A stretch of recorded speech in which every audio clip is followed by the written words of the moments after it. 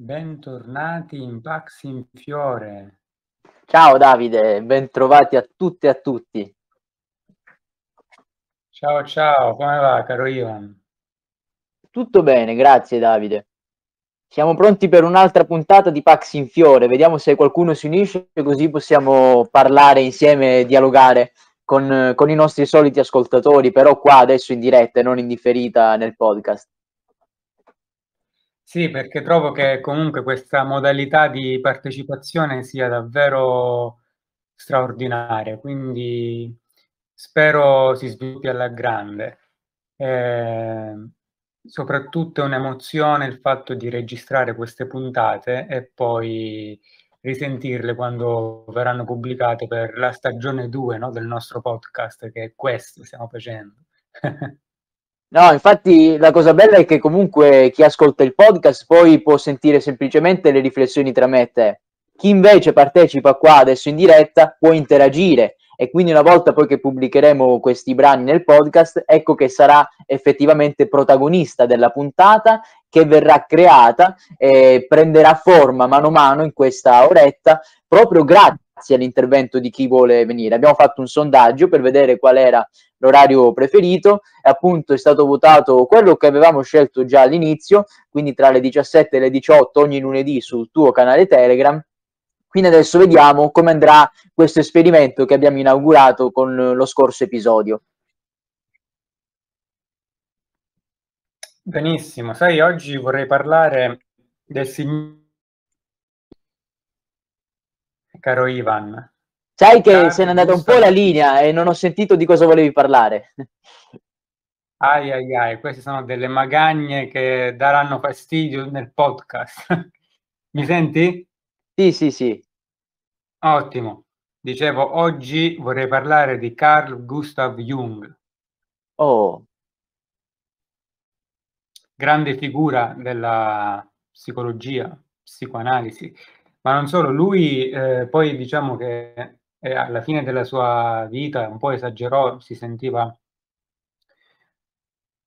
si dice così che esagerò, uhm, magari aveva raggiunto un certo livello di consapevolezza, comunque si sentiva mistico, perché poi lui attraverso l'indagine psicologica cominciò ad indagare, ehm, lo la spiritualità, cominciò a praticare quello che ai tempi si chiamava spiritismo, no, Mh. il fatto di riuscire a trovare una connessione col mondo dell'aldilà, chiamato spiritismo perché era in effetti una pratica, no, e quindi e quindi sapete cosa? Vi faccio vedere il libro e per gli per Ah. chi sentirà l'audio Ci immagineremo la copertina, anche questo è bello. In base al titolo e all'autore ci immaginiamo la copertina. Sì, sì, infatti ve la descrivo. Comunque il libro è questo. È Jung, Psicologia dei fenomeni occulti. Allora, io, uhm, questo libro in realtà l'ho trovato, mh, non lo conoscevo. L'ho trovato a casa chissà perché.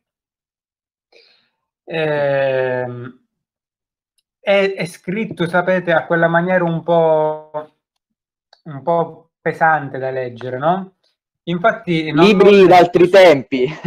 bravo, libri d'altri tempi. Infatti non l'ho letto subito perché, mhmm, sapete questa scrittura piccola, poi ci sono considerazioni notevoli di un certo spessore. Comunque sia, poi è arrivato il momento giusto. Ho cominciato a leggerlo e me ne sono appassionato. Qui indaga fa un'indagine riguardo una diversi tipi di di pazienti, ma si concentra su quelli considerati nevrotici, perché sapete qui siamo, mhmm, metà '800 all'incirca, e si cominciava a parlare di psicologia, veniva gli psicologi venivano chiamati gli alienisti, veniva chiamato alienista lo psicologo. Parentesi, di cui c'è una bella serie su Netflix. Chiusa parentesi. Quindi si ci si concentrava a quel tempo sulla nevrosi, sull'isteria, era un argomento che scottava a quei tempi. Allora si collegavano gli i fenomeni di connessione con l'aldilà con le nevrosi. Mh. Quindi lui eh, qui ci vuole spiegare che nella maggior parte dei casi questi fenomeni non sono altro che nevrosi psicotiche. Però indagando si è reso conto che alla fine queste nevrosi possono essere una reazione di una buona riuscita di connessione con l'aldilà. In sintesi, ragazzi. Comunque c'è un lungo capitolo riguardo una, una ragazza dove cioè, parlare di psicosi è assurdo perché descrive nel minimo dettaglio quello che lei vede, con chi parla e, e descrive anche una cerchia, io poi ho fatto delle indagini, una cerchia di, di livelli energetici di cui non, non parla, eh, cioè non è una, è una cosa ormai con, consolidata.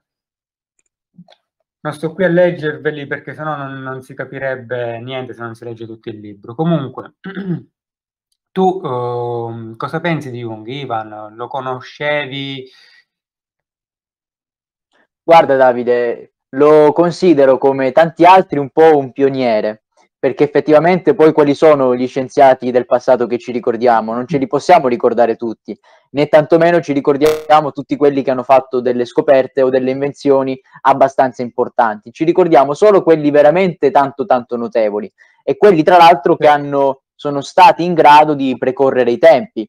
Ecco, lui certamente Jung è stato un grandissimo filosofo innanzitutto, perché ha veramente innalzato il pensiero fino a un livello che prima non era stato immaginabile per come lo ha configurato lui. Eh, oltre a fare questo, cosa ha fatto? Praticamente si è reso conto e ha studiato eh, in maniera razionale comunque dei fenomeni eh, cercando appunto di ricondurli a un metodo scientifico, no? sottoporre lo studio di questi fenomeni a un metodo scienti- scientifico. Ovviamente all'epoca ancora non si avevano delle conoscenze eh, come possiamo dire, fondanti che potessero spiegare in maniera razionale, in maniera anche completa e globale, quei fenomeni che lui aveva, aveva evidenziato. Oggi però, dopo, dopo qualche decennio, perché alla fine non è passato così tanto, in realtà saremmo anche in grado di trovare una spiegazione teorica alle cose di cui lui si era reso conto. E quindi, per esempio, il nostro attingere, inconsapevole naturalmente, a degli archetipi che esistono da sempre, che sono connaturati in noi e che sono condivisi con tutte le altre persone, almeno cioè almeno con tutti gli altri esseri umani di oggi, di ieri, di sempre, ma in realtà eh, questa è una distinzione che non avrebbe alcun senso. Eh, molto meglio sarebbe dire che in realtà questa connessione, questo, questo brodo primordiale, se lo vogliamo chiamare così, di idee, un po' come il, il, il mondo delle idee di Platone, effettivamente condiviso con tutto quello che esiste.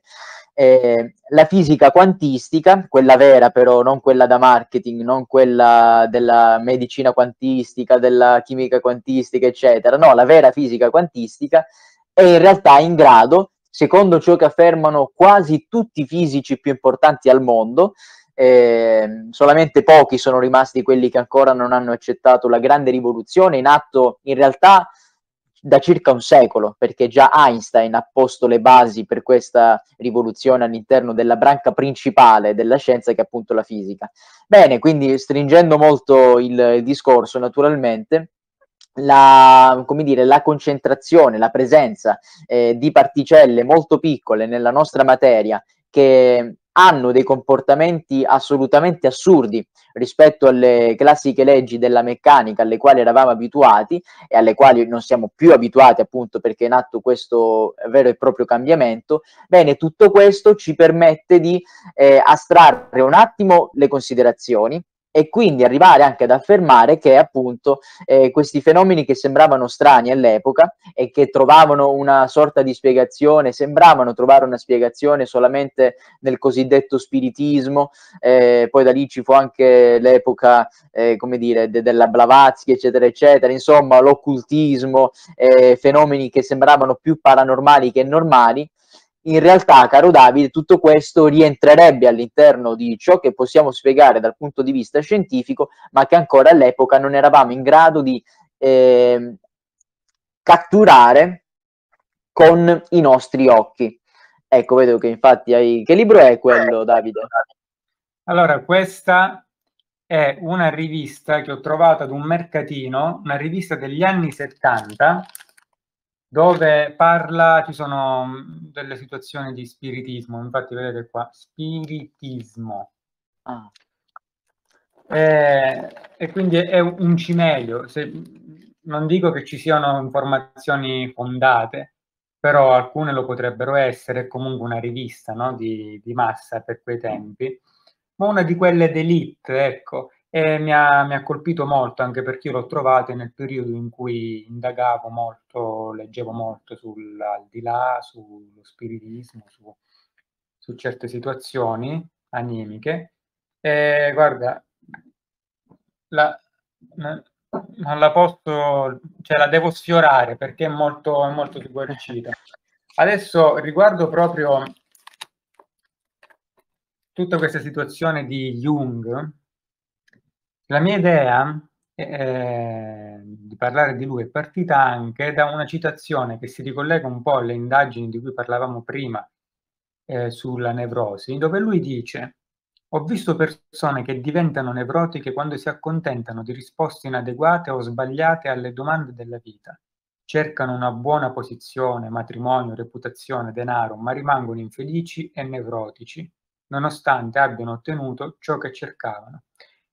Ecco, è un po' la malattia de del nuovo secolo, anzi dei nuovi secoli, no, quella dell'ansia, Sì. quella della della mania di apparire, di di essere di avere questa stabilità che in realtà poi ti rende instabile perché resta sull'apparenza, no, Ivan?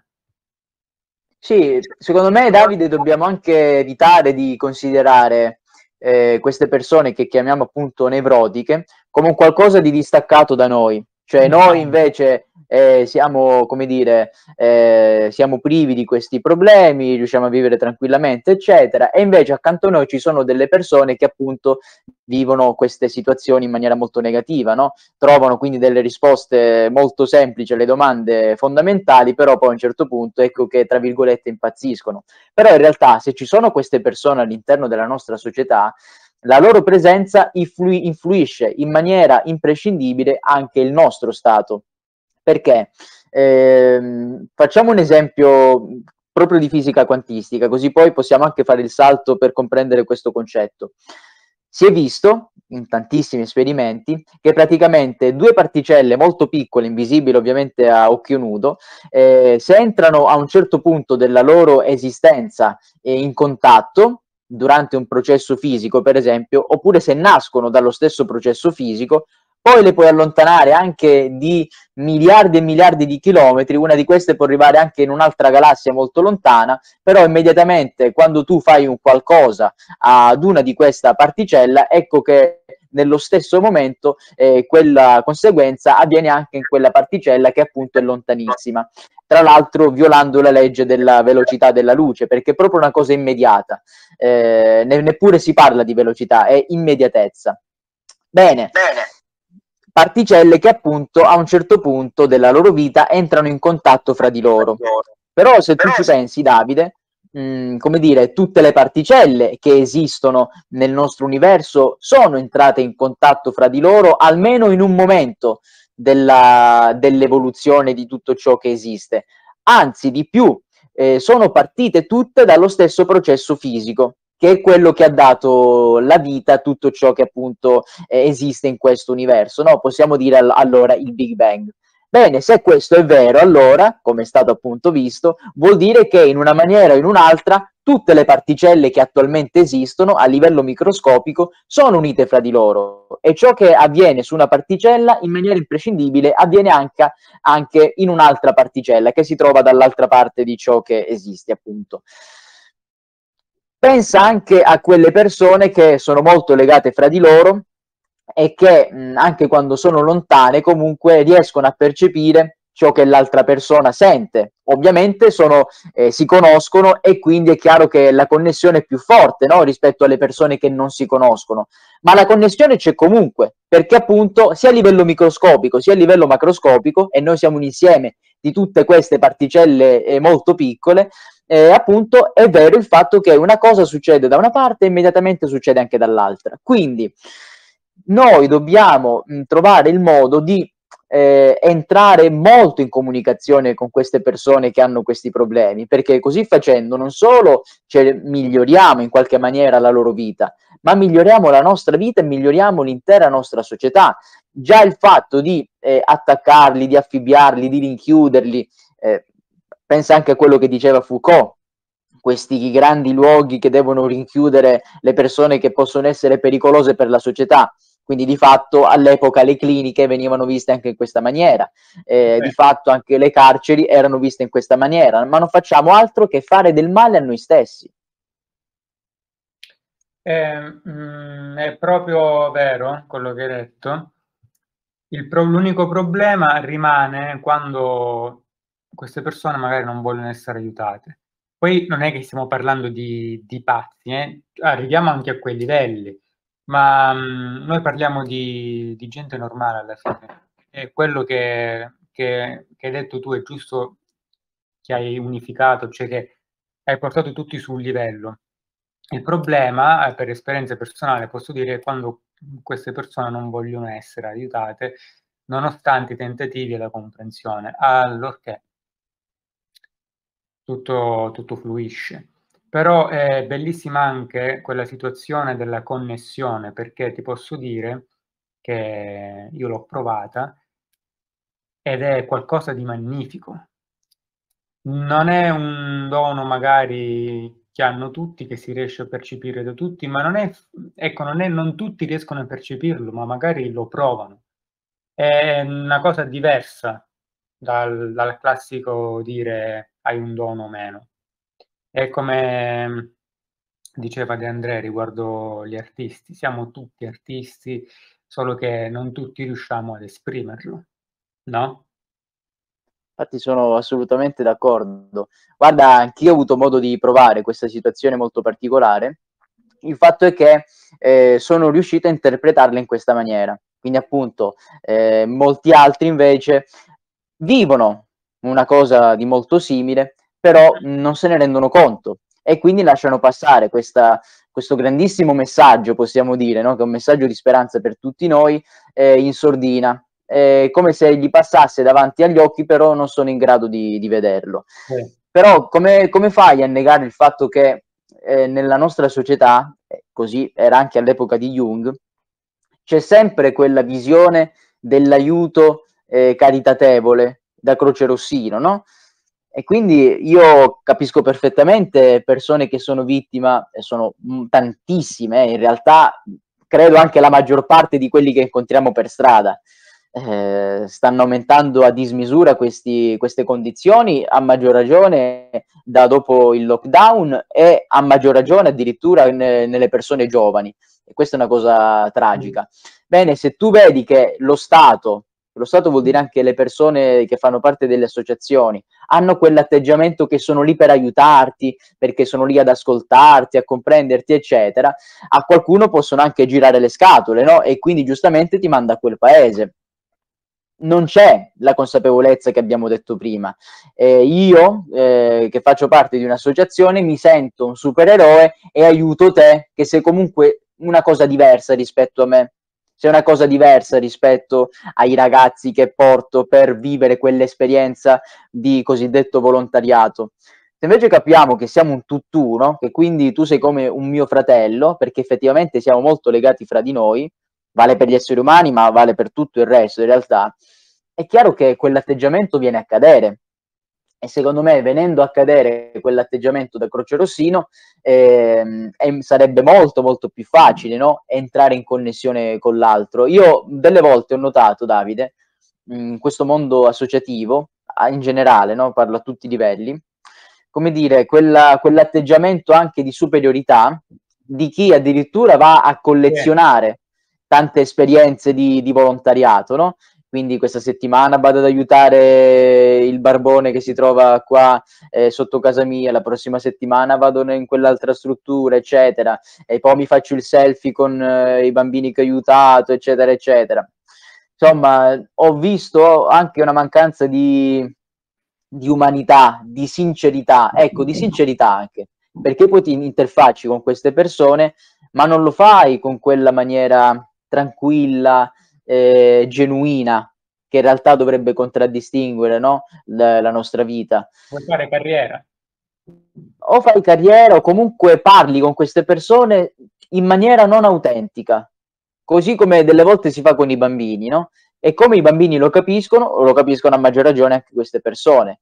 E certo. quindi tendono anche a non fidarsi tanto, giustamente. Io sarei il primo a non fidarmi.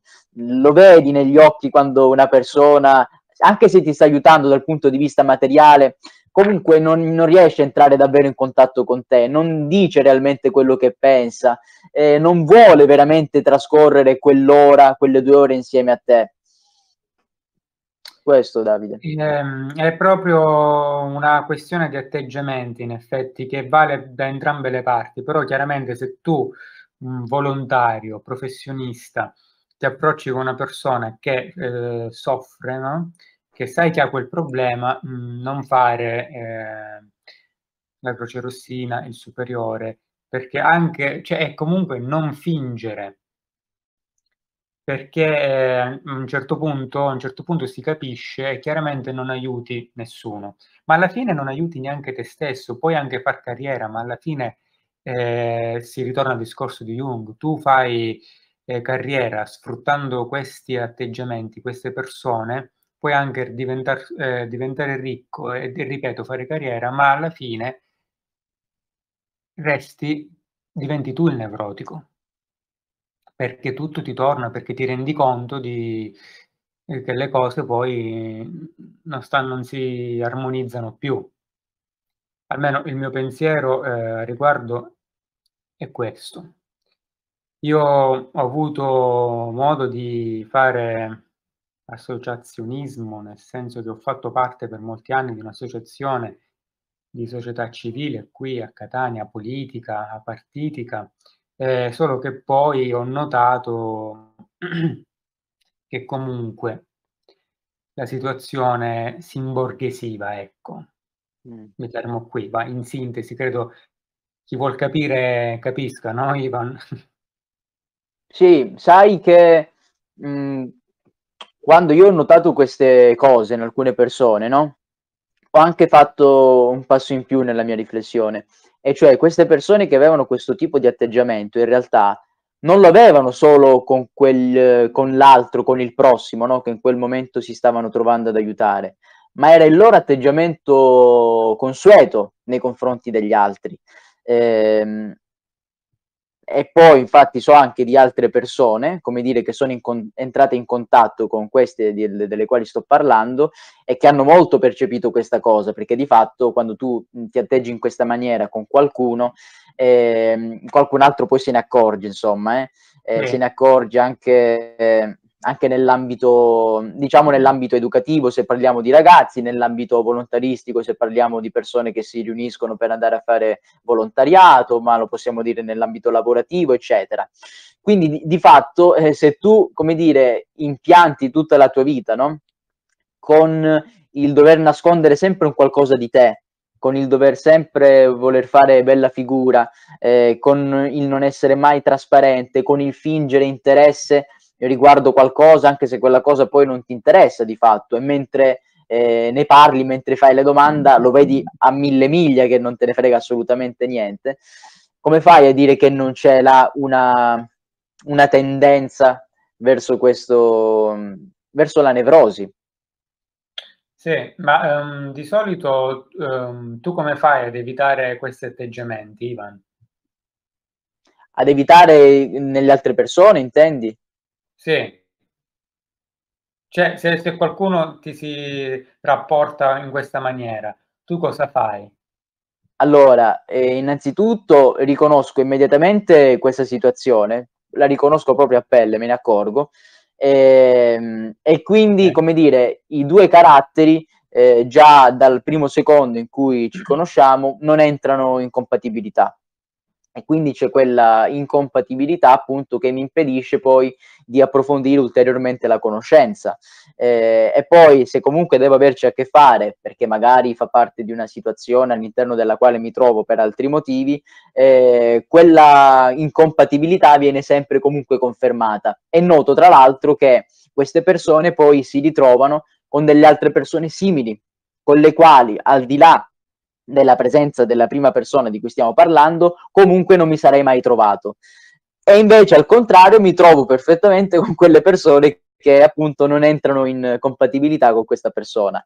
Eh, per dire che cosa questo appunto? Che da un lato c'è chi comunque si mostra anche nelle fragilità, eh, se deve stare in silenzio sta in silenzio perché non vuole necessariamente riempire dei vuoti che delle volte è bello anche che, che ci siano e dall'altro lato invece trovi delle, delle persone che appunto hanno sempre il bisogno di riempire, di colmare eh, un qualcosa che non hanno dentro, no? un qualcosa che non sono riusciti a trovare. E questa loro mancanza, torniamo a, a, al, al, punto che abbiamo visto prima, tra l'altro, eh, se non riescono a colmarla da sé, se appunto quindi vivono in uno stato di non eh. pienezza, poi eh, in, man- in, una maniera o nell'altra rivoltano tutto questo anche nelle relazioni che hanno con le altre persone. C'è chi si trova bene con questo, c'è chi non si trova bene. Quindi io comunque essendo un carattere molto pacifico, assolutamente non guerrafondaio, eccetera, entro ovviamente in dialogo, eh, però senza approfondire troppo, anzi io in realtà da parte mia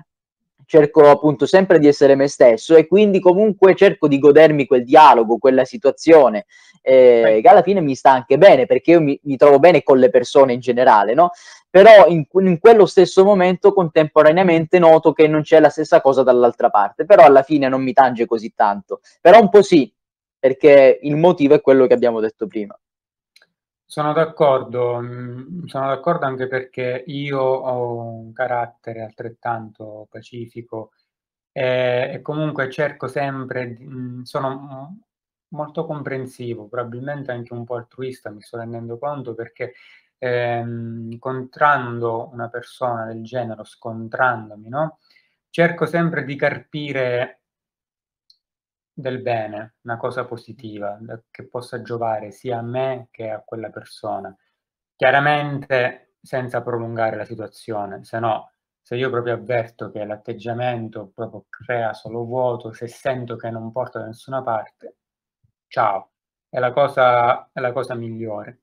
A meno che qui poi non parliamo di amicizie, di rapporti personali, eh, ci si può provare di più, ma sono d'accordissimo con, condivido proprio questo atteggiamento. Ora vorrei arrivare al punto invece mh, quando può capitare a, a, noi stessi, noi stessi che comunque eh, evitiamo queste situazioni, perché c'è chi ne soffre, no? Ma eh, tutti possiamo avere, possiamo essere un po' nevrotici alle volte, però c'è modo e modo di esserlo, no Ivan? Sì, a me personalmente succede quando noto una grande presenza di, di nervosismo, di stress, di irascibilità intorno a me, quindi nell'ambiente nel quale mi trovo, nel quale mi trovo però non mezza giornata una volta all'anno, no? nel quale mi trovo spesso, quindi certo, potremmo certo. dire quasi periodicamente. Ecco, quando noto questo, eh, oh, mi sono accorto che, come dire, cerco di reagire subito no, a questa situazione, eh, diventando io stesso irascibile per porre subito freno a quella cosa. No, no adesso parlo io, eh, siccome tu mi stai gridando mentre parli, ti grido più forte. Poi se vedo che la cosa non va bene dopo due secondi, allora eh, stacco, hai capito? E non, e non, rispondo più e non, come dire, non reagisco più. Però nel frattempo continua ad esserci quel, ehm, quello stato di, di malessere. Eh. Mm, guarda, mm, è una cosa mm, della quale tra l'altro mi sto accorgendo ultimamente perché mentre prima ero tranquillo da solo a casa mia, là a Ferrara, eccetera, adesso invece convivendo con i miei genitori, prima con mio fratello, eccetera, eccetera, come dire, devo condividere gli stessi spazi eh. con altre persone, e... però sto notando che questa, questo nervosismo sta crescendo sempre di più in generale, anche con le altre persone che incontro fuori, no?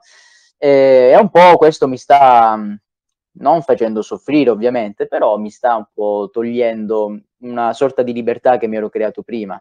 E quindi questa libertà sto cercando invece di custodirla all'interno di me, quindi se anche succedono episodi del genere, eh, comunque trovo sempre rifugio nel mio stato interiore di benessere, no? E questo è una, un grandissimo aiuto ed è una grandissima fortuna, anche perché una volta che te lo costruisci, poi effettivamente mh, lo alimenti sempre di più e c'è sempre. Quindi è sempre una caverna dove, dove mi rifugio e, e quindi stacco un attimo da questa atmosfera. Invece mi rendo conto che altre persone che non riescono a staccare ci sono sempre intrise e accumulano sempre di più questo grande nervosismo.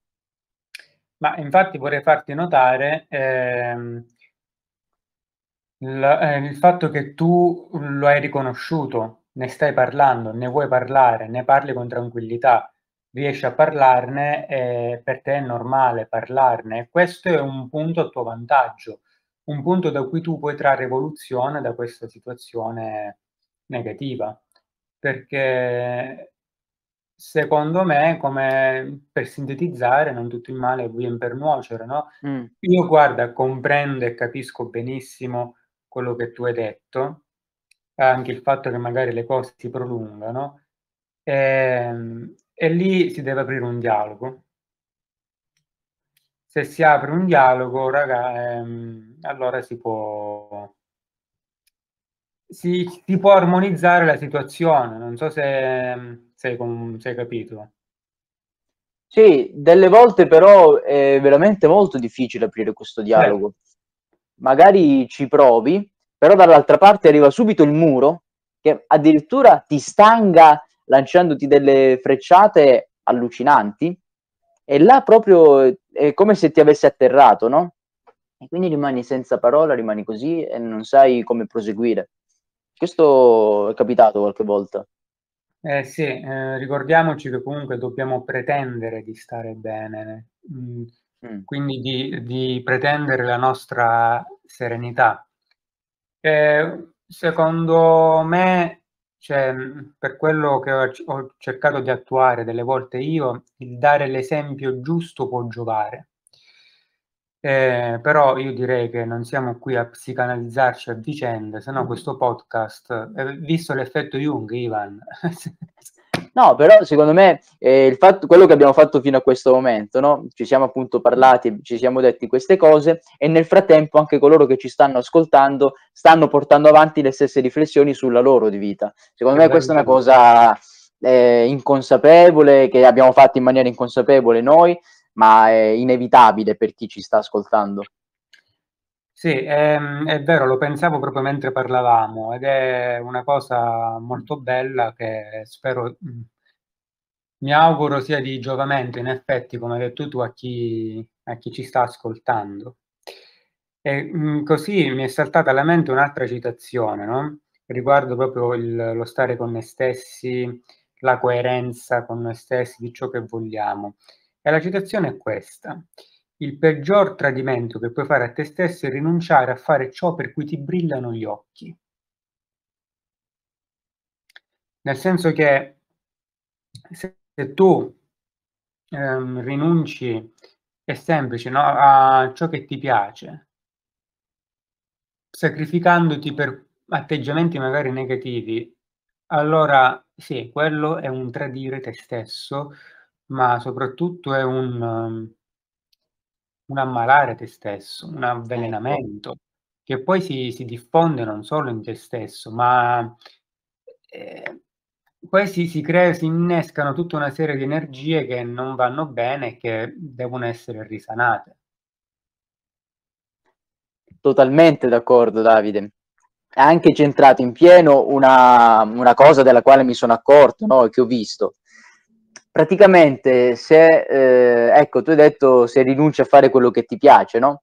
Forse addirittura ci sono persone che, avendo cominciato a lavorare molto presto, perché appunto bisognava guadagnare, avevano la visione già del matrimonio eh, da, da portare avanti il prima possibile, eccetera, eccetera, forse mai hanno scoperto che cosa gli piace fare. Ecco. E stanno ancora oggi continuando a operare in quel, in quel lavoro, nel quale quindi ormai sono avviati, hanno la loro carriera, eccetera, non potrebbero fare altro, eh, senza essersi mai interrogati appunto su cosa gli piaccia fare, sapendo però che quello che fanno comunque non gli piace. Ecco, infatti mh, l'ho detto ad alcune persone che questo comunque porta ad uno stato patologico, certo. cioè ti porta a sviluppare uno stato di malessere. E ho visto in maniera lampante che questo tuo stato di malessere, anche se forse non è molto visibile a chi non ti conosce bene, no? anche se quando vai eh, in giro a, a, a cenare fuori, eccetera, sembra che tu stia a posto, eccetera, eccetera. In realtà ci sono degli atteggiamenti, ci sono dei comportamenti che evidenziano in maniera eclatante questo tuo stato di malessere, perché se tu ti nervosisci subito per una questione che non ha assolutamente alcuna importanza, alcuna rilevanza, no? della quale si può parlare tranquillamente, vuol dire che c'è un qualcosa che non va bene al di là ovviamente di quella situazione, al di là di quella parola che è stata detta, no?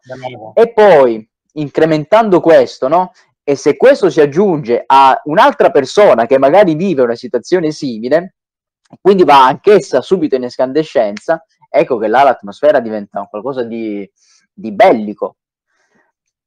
In effetti, cioè tu eh, vivi continuamente questo, questo stato brutto e tra l'altro c'è un'altra cosa da dire, perché? Perché se tu arrivi a un certo punto della tua vita, quando magari hai 50, 60 anni, così, e poi che cosa fai? Poi hai finito di lavorare e non sai effettivamente che cosa ti piace, non sei educato a saper impiegare il tuo tempo per il tuo benessere, no? E quindi la crolli definitivamente, non ti senti più utile. Infatti, e proprio al riguardo io ho saputo l'anno scorso di, proprio di, di queste situazioni, di molte persone che arrivate al pensionamento mm. arri- eh, arrivava anche la depressione con la pensione, perché in effetti non sapevano che cazzo fare, perché non sapevano, erano solo limitati al loro lavoro. E quindi io mi chiedo, mh, mm, probabilmente, rifletto anzi, eh, nella maggior parte dei casi in effetti era un lavoro che non ti piaceva, perché anche se vai in pensione ti puoi stare attorno a quella tua passione. Ora rendiamoci conto che eh, della realtà dei fatti che non è scontato, non è detto che tu riesca a fare il lavoro che ti piace, no? E quindi entrano in ballo anche i doveri, no? Se tu hai una famiglia, eh, e quindi se tu vuoi armonizzare la situazione, se devi procurare dei soldi, è giusto che tu entri in contatto con l'economia per mantenere la famiglia, però entri anche, devi entrare anche in contatto con la tua psicologia, perché se no va a finire tutto che diventi nevrotico, che non vivi bene, non vivi bene nella tua famiglia, non fai vivere bene la tua famiglia, perché vabbè, puoi portare un sacco di soldi, però poi c'è del malore. Quindi mh, mm, bisognerebbe, eh, in quei casi, bisogna elaborare, mh, mm, mi viene da dire se stessi, bisogna comprendersi, bisogna accettare e dire sì, vabbè, non è, non mi piace fare il panettiere, ma io lo faccio perché mi piace avere, eh, mantenere la mia famiglia per bene, mi piace avere mia figlia che sta bene e quindi ok, tutto a posto, con quei soldi io sono felice in, perché riesco a fare stare bene un'altra realtà.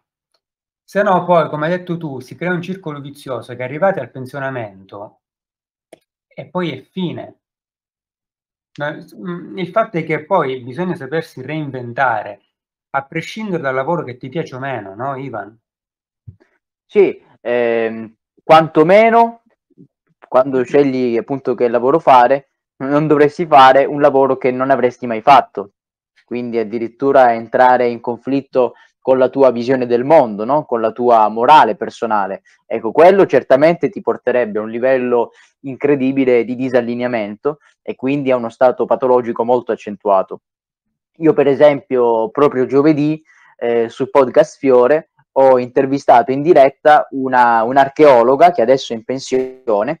Questa archeologa era la direttrice, e lo è stato per molti anni, di un sito UNESCO italiano della necropoli di Cerveteri, la necropoli della banditaccia. Ebbene, lei ha fatto questo mestiere wow. per tutta la vita e poi, una volta entrata in pensione qualche anno fa, ha continuato a fare quello che ha sempre fatto, quindi ha continuato a, ad aggiornarsi sull'archeologia, ha continuato a scrivere testi di archeologia e contemporaneamente ha avuto anche più tempo, ovviamente, per dedicarsi all'altra sua passione, che sono i gialli lei è grande appassionata di Agatha Christie, e ha iniziato a scrivere dei gialli. E wow. adesso, per esempio, sta ultimando il suo ultimo libro, lo stava portando poi in stampa e verrà appunto presto pubblicato. Ecco, lei, anzi, lei non ha il tempo di fare tutto quello che vorrebbe fare, perché era com- completamente allineata tra quello che le piaceva fare e appunto il lavoro che è riuscita a trovare, che poi in realtà non è che eh, sia bello fare il direttore di un sito UNESCO così grande, no? Ci sono delle magagne incredibili. Certo. Non era quella la sua vocazione. La sua vocazione era quella di dedicarsi all'archeologia. E quindi, insieme a questo, per motivi di carriera a cui ovviamente non poteva sottrarsi, ha dovuto anche fare la direttrice di museo, esperienza bellissima, certo, ma non è che tu la tua passione è quello di fare il direttore di un museo.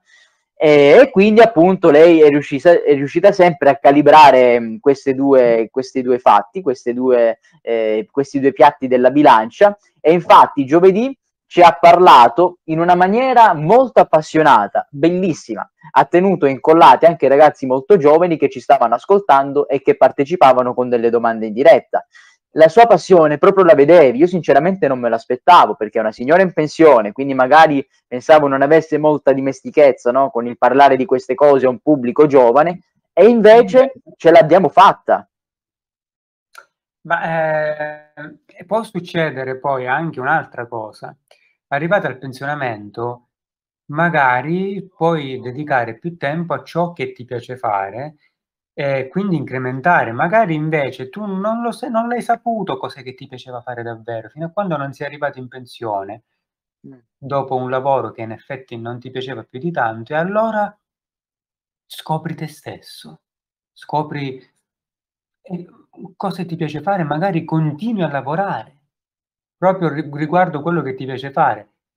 Se, sono sicuro che tutto si compensa. E proprio riguardo questo Ricordiamoci che comunque tutte le figure professionali, lavorative sono importanti, dal cameriere al dog sitter, anche se il dog sitter magari non è la figura professionale um, nel senso che serve ma non lo fai eh, per mantenere magari la famiglia. Il panettiere sì, il cameriere sì, parlo di tutte queste figure che magari sono un po' snobbate, ma in realtà tu il pane dove lo compri? In realtà tu, chi, chi ti serve al ristorante, chi ti taglia i capelli, chi è che raccoglie la spazzatura? Quindi tutto si compensa. Sì, ovviamente si spera di non arrivare alla pensione prima di scoprire no, quali sono le, le, cose che ci piacciono. E poi, tra l'altro, a parte la poesia che c'è nel, nel fare, nel veder fare a certi mestieri che si stanno perdendo oggi che vogliono tutti fare i fisici nucleari e ci si dimentica delle vere cose che servono per la vita, no? Cioè, metti anche, facciamo un'ipotesi per assurdo, Davide, no? Succede una catastrofe planetaria, eccetera, non ci serviranno i fisici aerospaziali, ci serviranno invece persone che sanno fare il pane, persone che sanno aggiustare una porta, eccetera.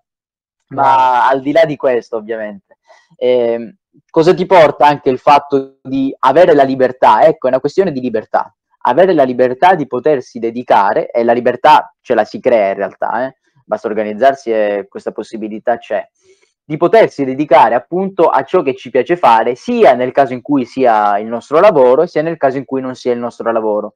Bravo. In entrambi i casi, comunque, eh, le altre persone ci potrebbero vedere un po' con gli occhi sgranati, no? Perché di fatto saremmo sempre a lavorare. Quindi o il nostro lavoro ci piace tanto e siamo sempre lì ad aggiornarci, a inventare cose nuove, eccetera, e ci divertiamo, no?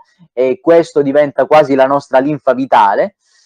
Oppure non è il nostro lavoro, ma quando finiamo di fare il nostro lavoro, le, le classiche ore no, della, della, giornata, poi ci dedichiamo alla nostra passione. E lì ecco che rinasciamo, no? di fatto quindi siamo sempre impegnati nelle attività. E allora c'è sempre poi chi ci dice ma, ma, chi te lo fa fare? Ma perché sei sempre così impegnato? Sei un Terminator mi hanno detto anche sei una macchina da guerra eccetera ma in realtà non lo vivo con pesantezza io personalmente, capito? Mi piace tanto farlo. Ieri, non sai quanto, ieri, domenica, tutta la giornata impegnata a lavorare a Fiore Kids, quale, del quale abbiamo parlato due volte fa, e mi sono divertito un sacco, tu non hai idea. Ho fatto tutto ieri. Ieri ho immaginato i contenuti da, da, portare nella seconda puntata. Questa è un'anticipazione, Davide, perché l'ho registrata ieri pomeriggio, ma la pubblicherò poi domenica, ogni domenica. Ho parlato dell'elettricità. Quindi quanto di meno divulgativo possa esistere, secondo alcuni, no? Da parlare poi ai bambini, dai 6 fino ai 13 anni. E io ho trovato il modo di parlare di elettricità in maniera interessante, in maniera divertente. Io stesso mi sono divertito in 20 minuti e ho spiegato a questi bambini, a questi ragazzi, qual è anche la tensione elettrica che si trova all'interno dei circuiti dei nostri strumenti tecnologici, no? che è praticamente 220 volt.